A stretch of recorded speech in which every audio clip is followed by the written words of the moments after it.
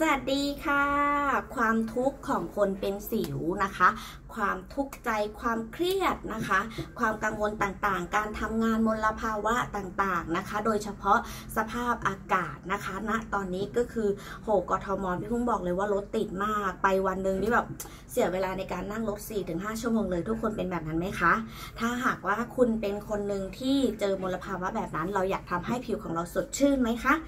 พี่กุ้งมีเคล็ดลับดีๆ ที่จะทำให้ผิวของเราสดชื่นนะคะ แล้วก็ทำได้ง่าย ๆมาก ๆนะคะ หลังจากที่เราบุกบั่นทำงานหนักมาทั้งวันแล้วนะคะ เราแค่ทำความสะอาดผิวล้างหน้าให้สะอาดแล้วก็พอกหน้าด้วยอาหารผิวมาส์กสาหร่ายลดสิวเวอร์ชันพี่กุ้งกดสิวกระปุกนี้นะคะ